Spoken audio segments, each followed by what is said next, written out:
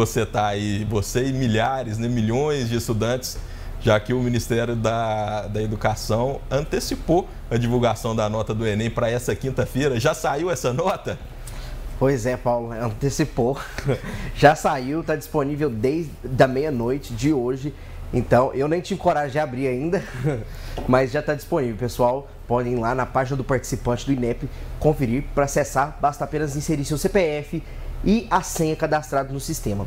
É, primeiramente, Paulo, os resultados seriam divulgados na dia 13 de fevereiro. Aí, agora, o ministro da Educação, Camilo Santana, antecipou para os alunos e estudantes se prepararem aí para o SISU, que é o, o método, né, o sistema de seleção unificado, para entrar nas faculdades ali é, e ter uma preparação maior, Paulo.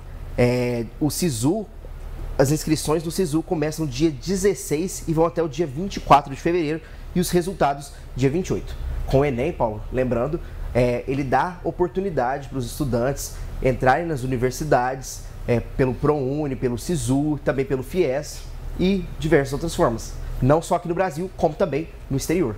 Tá certo, João.